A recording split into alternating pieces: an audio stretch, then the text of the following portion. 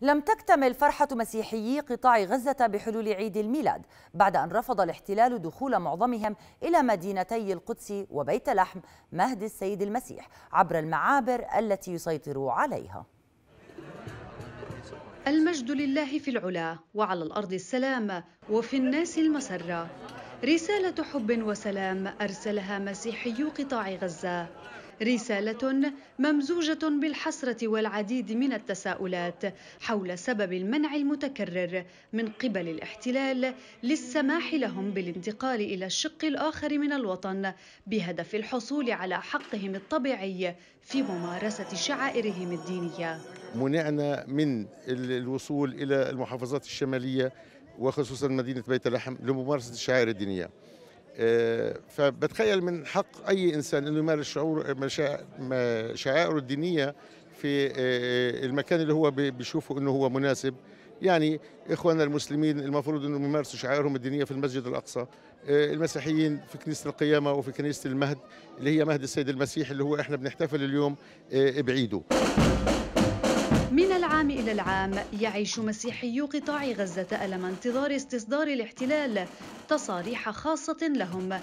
الأمر الذي حرم منه 1300 شخص لم يحصلوا على الموافقات اللازمة فيما سمح فقط ل 200 مسيحي الوصول إلى مدينة السلام والانضمام إلى إخوتهم في مدينة بيت لحم وعيش أجواء العيد كما يسمح للمسيحيين من أقصى الأرض إلى أدناها ممن لا يقطنون في قطاع غزة. إحنا قدمنا 1500 تسريح لسلطات الاحتلال. من 1500 تسريح وافقتنا حتى الآن على 200 تسريح.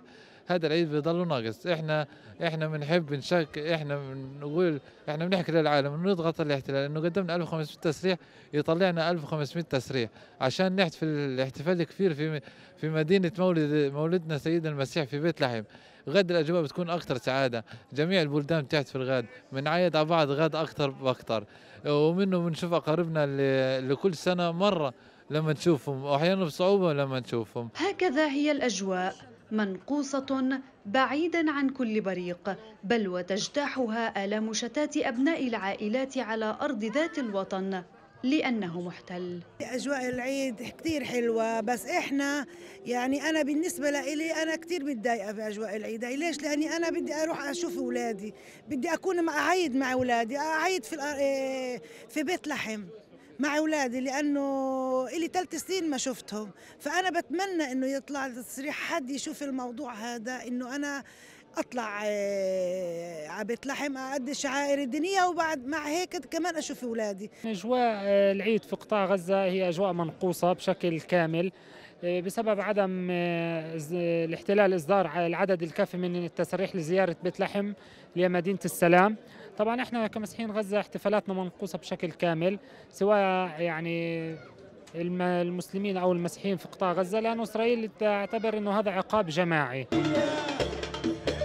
إيمانهم برسالة السلام والمحبة فقط. هي ما يدعم صبر كل مسيحي في قطاع غزة. بعدما حلت عليهم لعنة احتلال لا يأبه لحقهم في عيش أجواء عيد سعيد. منى عقل قناة رؤيا غزة فلسطين.